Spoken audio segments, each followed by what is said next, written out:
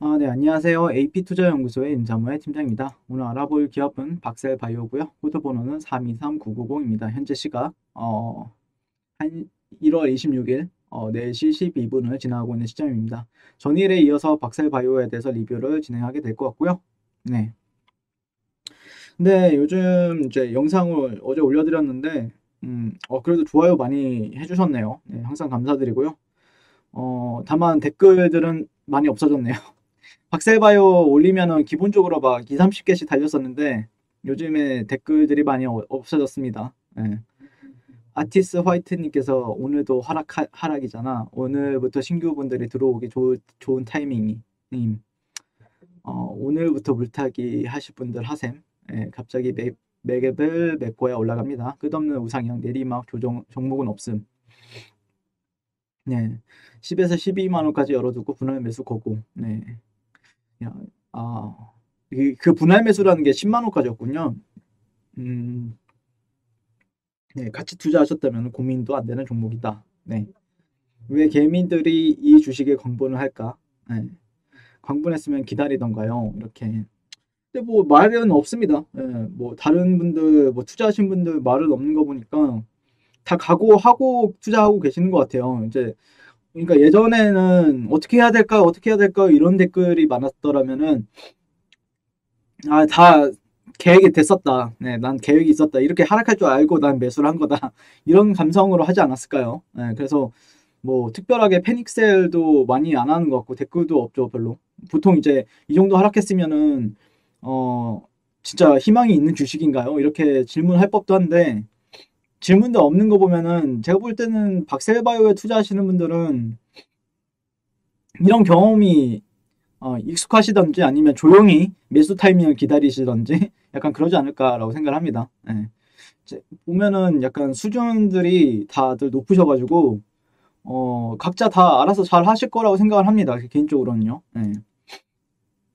근데 저는 뭐, 어, 뭐, 실질적으로 보이는 그대로 이제 리뷰를 하는데, 근데 막 예전 다른 종목들 같으면은 조금 제 의견을 좀 강하게 표출을 하는 편이에요. 그러니까 어, 이 종목은 저는 매수 관점으로 보고 있다. 아니면 이 종목은 매도 관점으로 보고 있다. 이라고 이제 표현을 하는데 이게 신규 상장주이다 보니까 그렇게 거래하는 데 있어서는 아니면 분석하는 데 있어서 기준점이 많이 없는 건 사실이죠.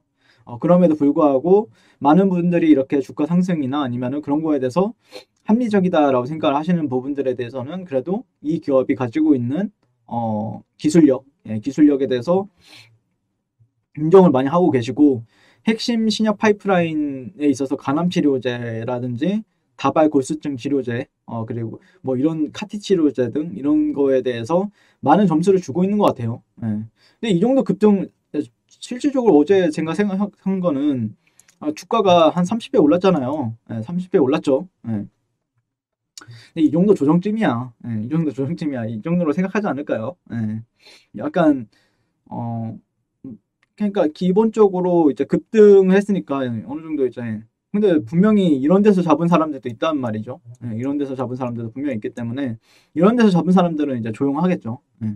그냥 약간의 수익이 조금 줄어들거나 아니면은 뭐 비중 조절을 한다든지 그런 전략을 세울 수 있을 것이라고 생각을 하고 그럼에도 불구하고 21선을 지켜줬다가 깼, 깼죠 어제 어제 깼는데 네 한번 지켜봐야 될 것 같고 그래서 어, 어제 이제 말씀드렸던 거는 어, 뭐 저점이 깨져도 반등은 나올 것이다라는 관점인데 어제 그래서 뭐 셀트리온의 차트랑 비교를 했었죠. 네, 비교를 했었는데 뭐 다시 한번 볼까요?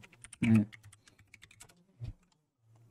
셀트리온 같은 경우에는 어, 이때죠. 어, 지금 말고 어, 이때랑 비슷하죠. 느낌. 뭐 제가 죄송합니다. 박셀바이오를 셀트리온에 비유를 해서 네, 별개의 종목인데 약간 흐름 자체는 본다라고 하면은 어, 지금 이때 흐름이랑 비슷하죠. 지금 네, 이때 흐름이랑 비슷하고 박스권, 아, 박스권이나 아니면은 단기적인 수렴적인 부분들 네, 있어서 이탈이 나온 뒤에 어, 이탈이 나온 뒤에 그 다음에 되돌림 구간 정도를 이제 만들어 줄 것인가에 대해서 한 이 정도 사이클이 나와 줄 것인가에 대해서 한번 보, 바라보고 있는 시점이죠. 지금 이 정도. 네. 이 정도고. 음, 볼까요? 네, 여기 그 이때 그림이랑 어, 보시면은 음, 여기 네, 박셀바이오를 한번 어, 60분봉으로 본다라고 하면은 네, 박셀바이오 네.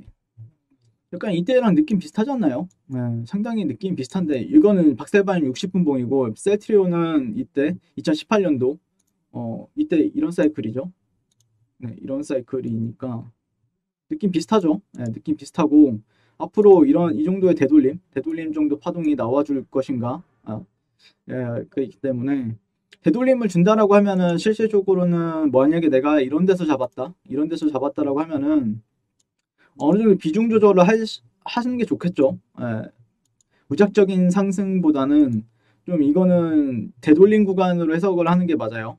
예, 개인적으로는 그 되돌 약세, 그러니까 주가가 박스를 만들어주고 하락 이탈 되돌림 테스트를 하는 겁니다. 그러니까 이게 저항대가 맞는지 테스트를 하는 구간이기 때문에 아마 그런 가격대들까지는 한번 올렸다가 그러면은 이제 또 이런 이런 경우가 있어요. 주가가 되돌림을 여기까지 준 거예요. 그러면은 사, 심리적으로 이런 여기가 혹시 지지받는 거 아닌가?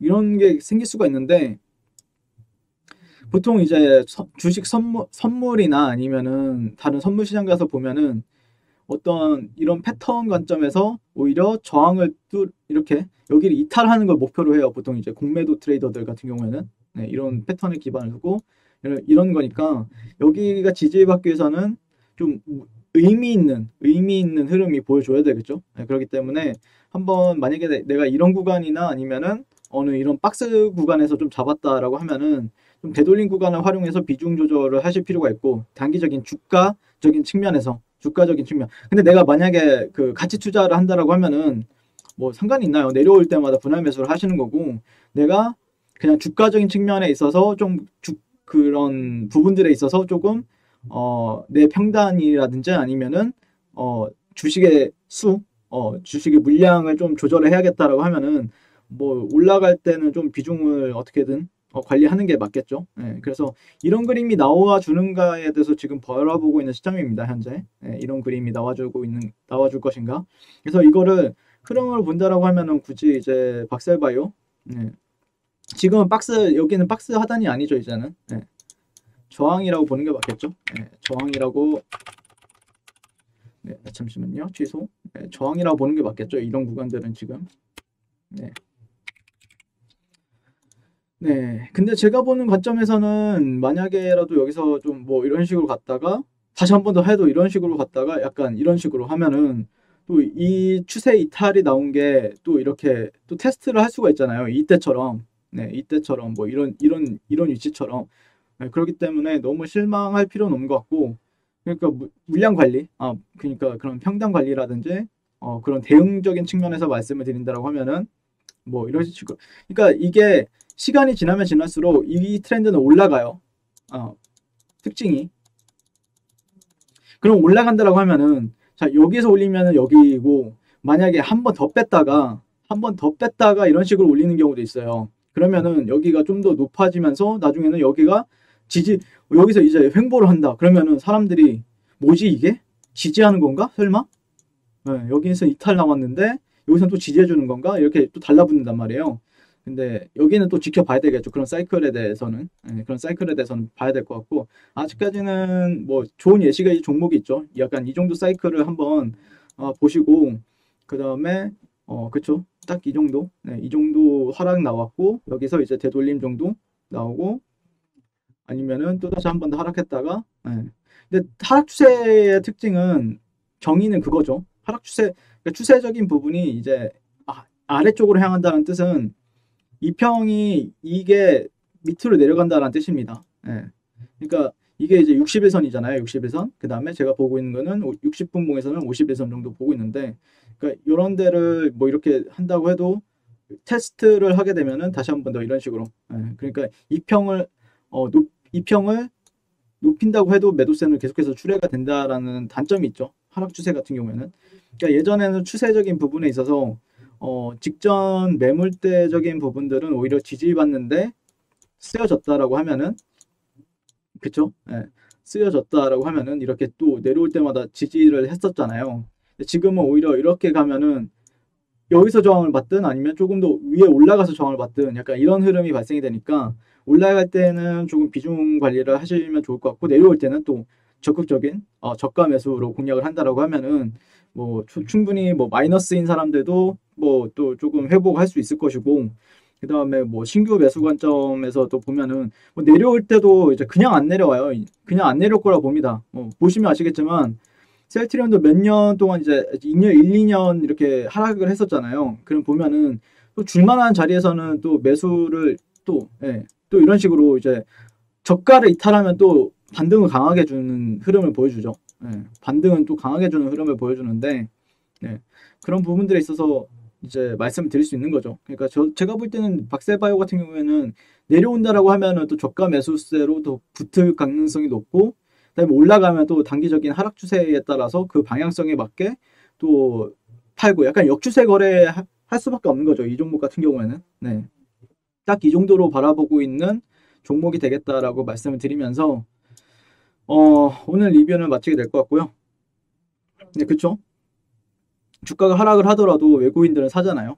그 다음에 개인들도 또 사고. 그러니까 매수세가 절대 약하진 않아. 떨어질 때도 매수세가 약한 종목은 아니다라고 판단하고 있습니다.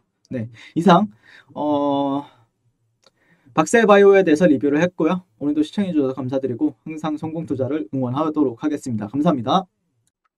네, 그리고 무료 추천 종목을 매일매일 드리고 있습니다. 네이버에서요. AP투자 연구소를 검색하시고 웹사이트 상단에 어, AP투자 연구소 홈페이지로 갈 수 있는 링크가 나옵니다. 어, 클릭하시게 되면 어, 홈페이지로 접속을 하실 수가 있고요. 화면 가운데 라이브로 깜빡깜빡하는 게 보이실 겁니다. 그 밑에 2021년 무료 추천 종목이 있습니다. 어, 클릭하시게 되면 어, 매일매일 저희 소장님께서 댓글로 리딩을 어, 해드리고 있고요. 1월 지난주 1월 22일, 1월 21일 어, 이렇게 계속해서 매일매일 추천 도와드리고 있습니다. 오늘의 추천 종목의 동향을 한번 어, 살펴, 살펴보도록 할게요. 네. 어, 7시 45분부터 댓글 리딩에 들어가신 거 볼 수가 있고요. 어, 주말 사이 아니면 간밤에 있었던 미 증시에 대한 설명부터 어, 상승과 하락에 대한 이유까지 댓글로서 리딩을 도와드리고 있습니다.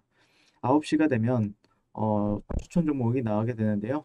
종목명, 매수가, 1차 목표가, 손절가가 함께 제시가 됩니다. 오늘 같은 경우에는 코미코라는 종목이 추천이 나왔고요. 현재가 61,200원 기준 매수, 그 다음에 1차 목표가 63,000원, 손절가 59,000원으로 대응합니다. 이렇게 목표가와 손절가가 같이 제시가 됩니다. 그 외에도 파라텍, 대한항공이 추천이 나왔고요.